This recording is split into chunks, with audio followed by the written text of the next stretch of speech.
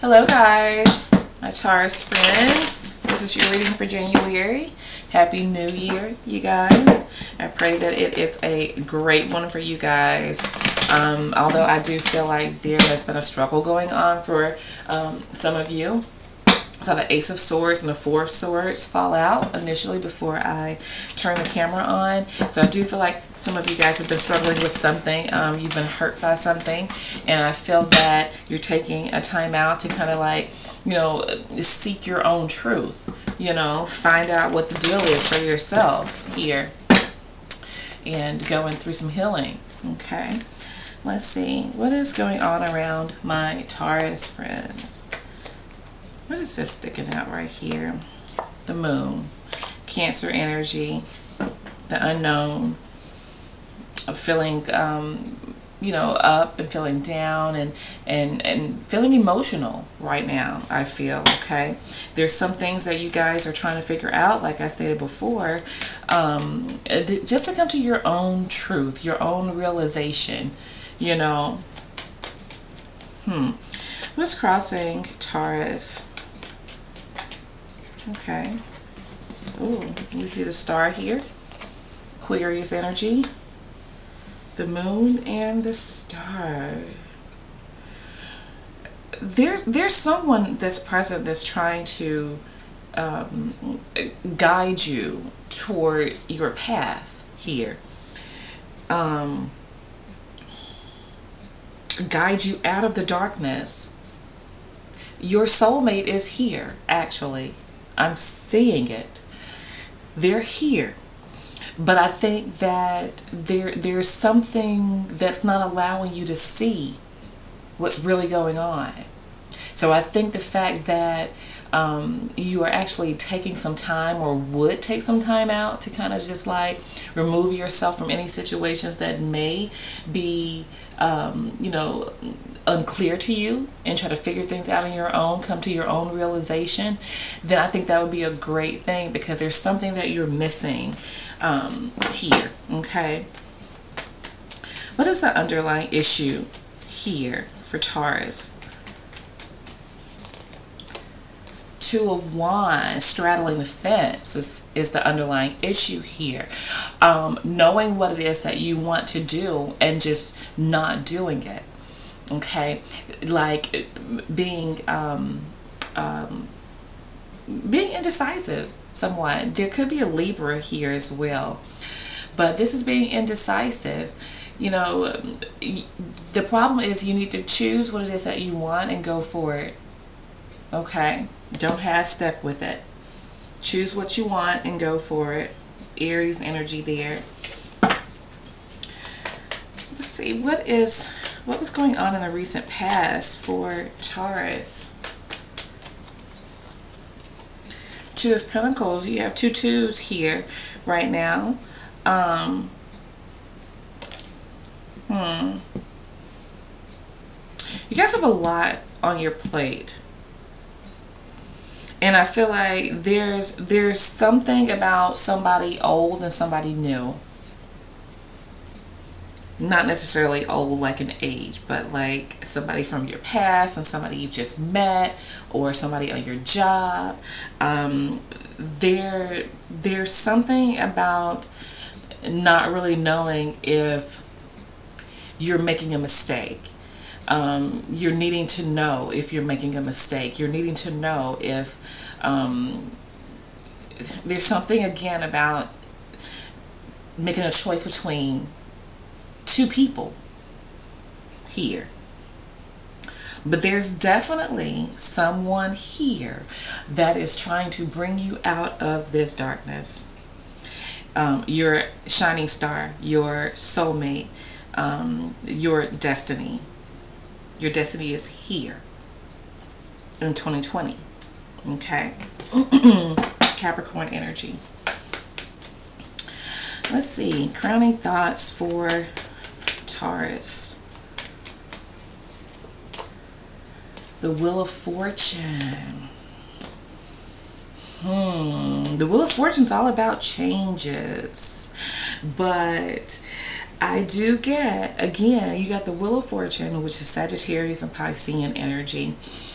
um, whatever whatever's going on right now, and I see like you're sitting in the unknown. You're sitting in your feelings. Um, there's a guarantee that that's going to change and that's what the wheel of fortune is all about it's not necessarily that things are going to go great this is indicative of things that are down coming up and things that are up will go go down again you know it's like this constant like this is what that is. It's like this. Constant changing okay? So if you're feeling kind of lost and you're feeling like you know in your feelings on an emotional roller coaster not knowing what to do um, I think that in your mind and I think that you are going to manifest this change into your life so that you will um, come out of this fog and know what to do and actually start moving towards what it is that you want so I am getting that. There's going to be some major changes for you in 2020 in your love life. What's coming in for Taurus? Eight of Wands, moving forward. Mm-hmm. This is all about communication and and being able to like progress um, and fast at that. Very Sagittarius energy here with this Eight of Wands. I do see you um, having a lot of changes coming in, uh, moving very fast, being being very communicative, um, and all those sorts of things. Possibly even moving locations, going to that person or that person coming towards you. Um, I do see a lot of changes going on here for you guys. How does Taurus view this situation? The Hierophant, there you are. There you are. I think there are certain things that you feel like um, should be. The way you view certain things is, is the way that you feel like, you know, it should be. And I think that you you are wanting to share that with other people. I do think that um, there's something, again, that you are failing to see um, because you are so, a lot of you guys are setting your ways, for one. Um, whatever it is that you believe, you believe it, and there is no budging from that. So, or there's no nothing that somebody can actually do to persuade you to move away from what it is that you believe.